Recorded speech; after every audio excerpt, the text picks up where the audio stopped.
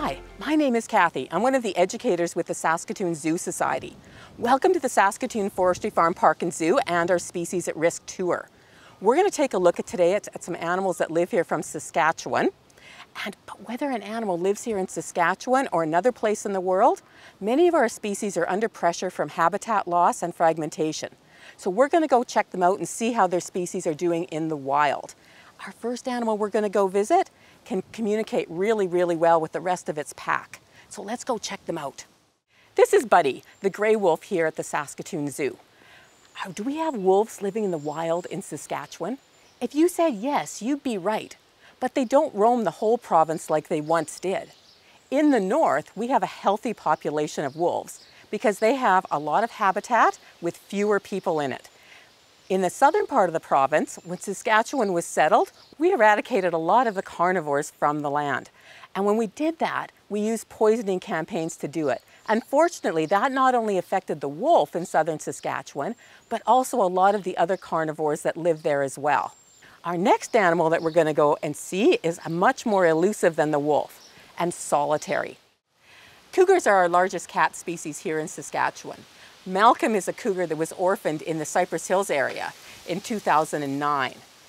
In our province, that's where you would traditionally find them, the Cypress Hills area, the Pasquia Hills areas, or perhaps near Moose Mountain. But if they left those areas, traditionally they would have come into conflict with humans and would have been shot and killed. In 1971, cougars were protected here in Saskatchewan.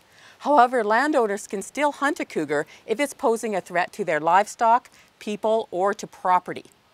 Right now, in Saskatchewan, we probably have about 350 cougars that call Saskatchewan home.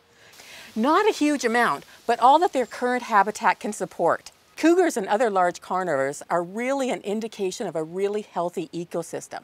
However, the challenge for humans is how do we learn to coexist with these large carnivores in our, in our environment? And speaking of large, wolves and cougars can take down the largest prey animal in Saskatchewan. That's the bison. Imagine coming to the Great Plains of North America 150 years ago. The grasslands was teeming with animals, and a lot of those were hoofed animals, things such as moose and mule deer, pronghorn, and of course the largest prey animal in Saskatchewan, the bison. Bison were incredibly important and an integral part of the ecosystem. There was tens of thousands of bison roaming the grasslands. And these bison provided everything for the carnivores that lived here. Not only the carnivores, but for the indigenous people that lived here. They provided everything they needed to survive. Everything from tools and food, implements, shelter, clothing, all of the things that they needed to survive was provided for them by the bison. Unfortunately, the bison with settlement were hunted to the brink of extinction. And by 1895, almost every last bison in Saskatchewan was gone. Only through the efforts of conservationists were they able to be saved. And only because they saved habitat. So through the saving of habitat and captive breeding programs, the bison was saved from the brink of extinction. But numbering the same as the bison here on the Great Plains of North America, we're also our next unique animal, and that is the pronghorn. You may have heard of this animal being referred to as an antelope, but they're not related to antelope at all. This is a unique species of animal that only exists here in North America. They are called the pronghorn because they are the only animal with a prong on its horn.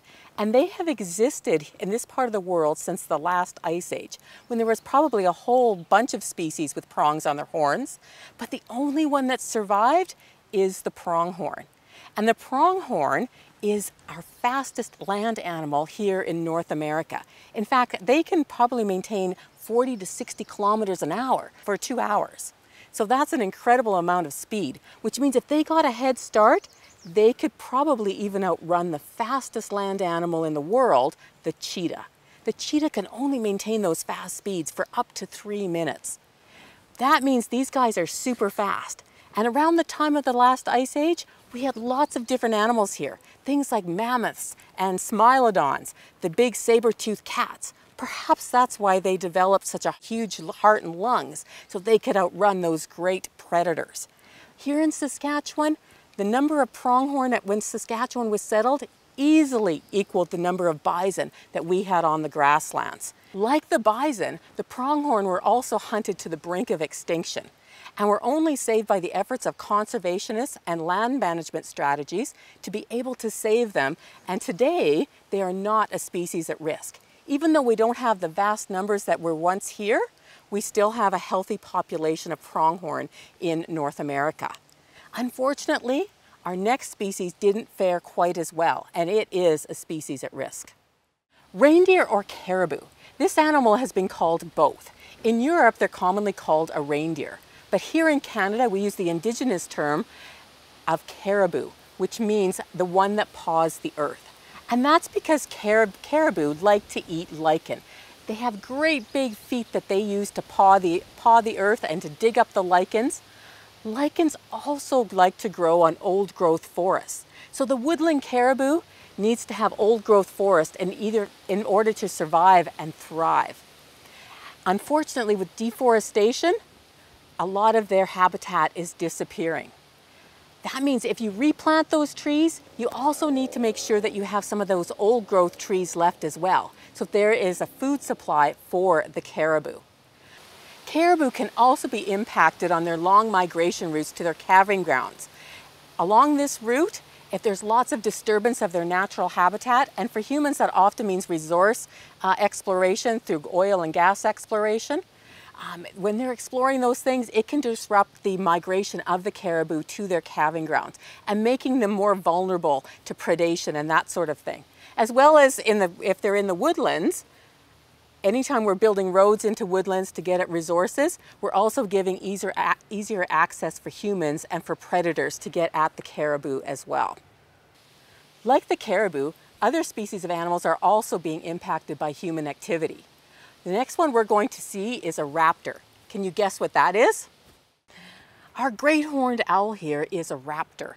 Those encompass all of the meat-eating birds. Those are things like the owls, the hawks, eagles, falcons. They are all raptors. And great horned owls are actually one of the most widely distributed raptors on the planet. So they are not a species at risk. But some of the other ones are, and yet they inhabit the same habitat. So habitat isn't just space, it's all the interactions that happen in that space. And in that space, these animals are sharing the same food source. They are hunting for small mammals. But if you're an owl, they are not all owls, but most owls are nocturnal. So you're right, that means they hunt at night. These guys are nighttime hunters.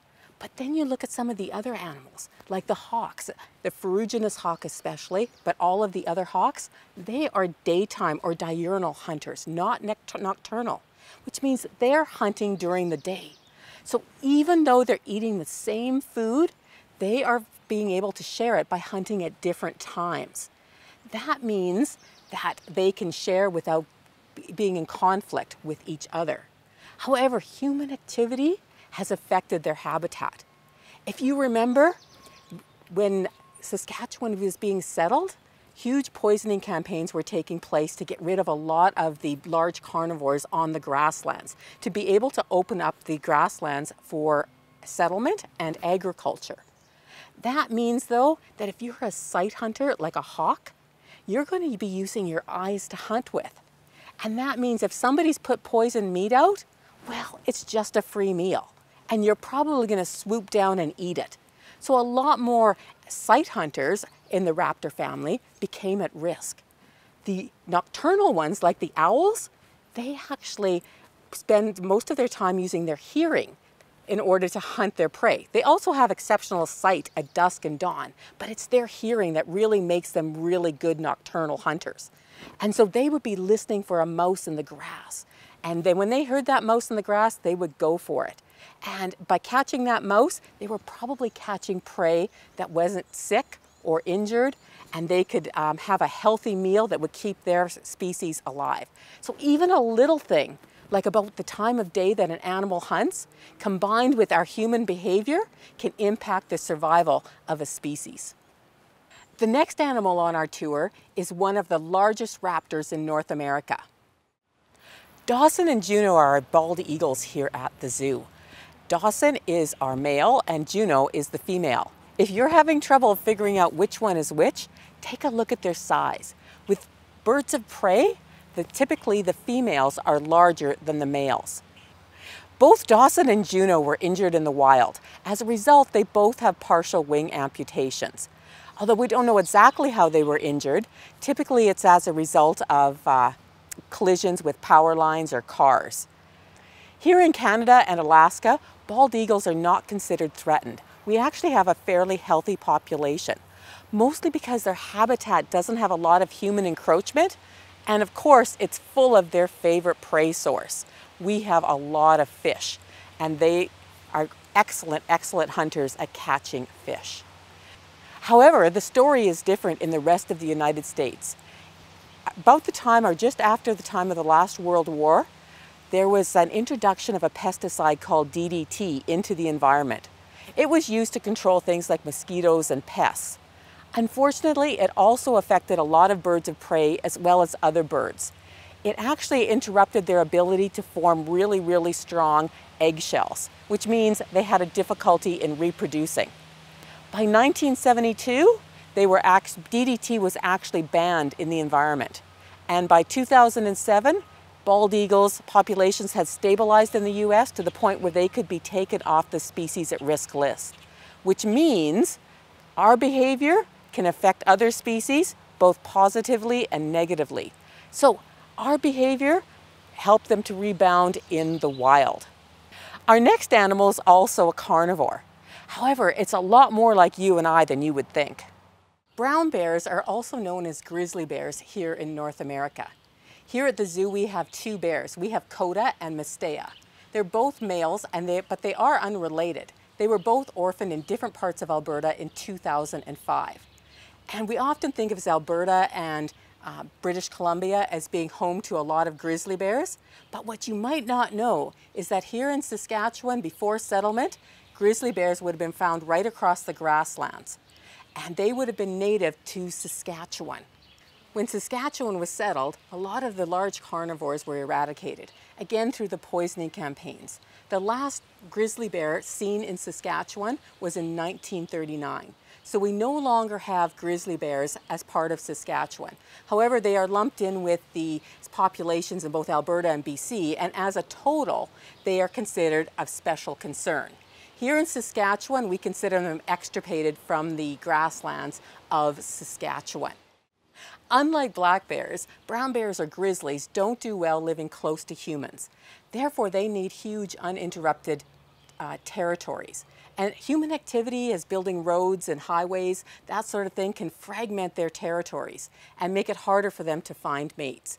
One of the reasons that grizzly bears are a spe species of special concern here in Western Canada. The next animal on our tour is a very elusive animal and lives in the boreal forest. Hi, we're here at the Canada Lynx enclosure. We have two Canada lynx here at the zoo. We have Thelma and Louise. Those are two female lynx that are related. And the Canada lynx is our medium-sized cat in Saskatchewan. Its natural habitat is the boreal forest regions of Saskatchewan. The favorite prey of the Canada lynx is the snowshoe hare, a very, very agile animal. And that means the lynx has to be able to chase a snowshoe hare across its habitat, even in deep snow which means Canada lynx have really, really large paws. Those large paws are really furred at the bottom and work as built-in snowshoes so that they can chase the uh, snowshoe hare. Even with all those skills, the snowshoe hare, about nine times out of 10, is gonna get away. Currently, the Canada lynx is not a threatened species here in Saskatchewan, but their populations are closely related to their prey, the snowshoe hare. And snowshoe hare, their populations cycle. So they will, they will go up and then crash about every eight to 10 years. So if we happen to be in a low cycle of snowshoe hare, there will be less lynx uh, being born that year and their populations will come down as well. If human behavior is disruptive to the habitat of the Canada lynx, that means, especially when the population of snowshoe hare is low, we could eventually affect the population of Canada lynx as well. So a very, very agile animal. The next animal on our tour is also very agile. This animal on our tour is the swift fox. Unfortunately, swift foxes are a species at risk here in Saskatchewan. They are one of the three foxes that make Saskatchewan home. We have red foxes, the swift fox, which is a grasslands fox, and if you get up to, up to the very northern part of the province, you might get lucky and see an Arctic fox. The swift fox makes the grasslands home. Unfortunately, they were extirpated in Saskatchewan in the 1920s. That means they were gone, totally gone from Saskatchewan. But in other parts of the world, they existed in parts of the northern US, and so they could be brought into captive breeding programs and eventually released back to the wild. Here in Saskatchewan, those programs were successful, and we currently have around 600 swift foxes that make Saskatchewan home. However, their habitat is under a lot of pressure from a lot of resource development. They're basically based out of Grasslands National Park and moving outwards from there. Their habitat is more than just space. It's all the interactions that take place in that habitat. So it's a very complicated ecosystem, which means that if there's other animals around, they will affect the survival of the swift fox. The swift fox actually has a really cool relationship with its bigger cousin, the gray wolf. And if there's gray wolves around, well, there's going to be some more swift foxes around. Because gray wolves don't usually hunt swift foxes. A tiny fox like the swift fox isn't enough to feed a whole pack. So for the most part, they're going to leave them alone. But you know who the swift fox doesn't get along with? They don't get along with the coyotes because coyotes will actually hunt swift foxes. But the coyotes don't like the gray wolf. So if there's lots of gray wolves in the, in the, in the habitat, then, this, then the coyotes will take off. And it's a better for the swift foxes. So those complicated interactions can also affect their survival in the wild. Along with the swift fox, the next animal also makes the grasslands home. They live in communities called towns. Millions of prairie dogs once called the Great Plains of North America home. Being a rodent, their numbers can increase very, very quickly. However, they had competition historically. As a grass eater, there was lots and lots of bison and pronghorn around which would compete for grass for the prairie dog, limiting their numbers. Also, prairie dogs were lunch for a lot of the carnivores that lived on the Great Plains. With settlement, though, we got rid of a lot of the huge uh, hoofed animals out on the grasslands, like the bison and the pronghorn, as well as a lot of the carnivores like the wolves, creating a really, really perfect system for the populations of prairie dogs to explode. With very little animals to compete for grass and nothing eating them, their populations exploded from the millions to the billions. And you can't do agriculture with that many prairie dogs running around. So there were huge poisoning campaigns to eliminate the prairie dog from the grasslands. Today, you can only find prairie dogs in southern Saskatchewan in Grasslands National Park. They're a very, very social animal that live in communities called towns. And within those towns, they have neighborhoods of close family members. Black-tailed prairie dogs are considered a keystone species in their ecosystem. If you remove them, a lot of other species will be affected as well. That's considered the keystone species. So other animals, in fact, our most endangered mammal in Saskatchewan is affected by the loss of the prairie dog. The black-footed ferret almost eats exclusively prairie dogs. You get rid of prairie dogs, you're gonna get rid of the ferrets. And that's why they're, that's why they're in a threatened species. In fact, at one point, they were pushed to the brink of extinction and are trying to be reintroduced into the grasslands of southern Saskatchewan. But other species were affected as well. One of our smaller owls here in Saskatchewan actually uses the abandoned prairie dog holes for nesting sites. So the little burrowing owl is another species at risk. Get rid of the prairie dogs, you get rid of the nesting sites. Also, with our harsh Saskatchewan winters, lots of our reptiles like prairie rattlesnakes, the greater shorthorned lizard, need places to get below the frost line to hibernate. If you get rid of the prairie dog holes, you're putting another species at risk. Thank you for joining me on our Species at Risk tour today. We've gotten to see a lot of the different animals here at the Saskatoon Forestry Farm and Park and Zoo. Some of them species at risk, some of them not. But always remember that you are also a species on this planet. And as an animal, all of our actions not only affect other species, but those same actions can affect us as well. Like all animals, we need a healthy environment to survive. We need clean food, water, air, just like all of the other species that share this planet with us. And if they're having trouble surviving, what affects them will eventually affect us. Just remember that all life is interconnected. Like a lot of indigenous cultures say, prepare for the seven generations coming up, not just for us in the here and now. Life on this planet is all interconnected. Individual actions matter. Let's do this together and let's make it positive.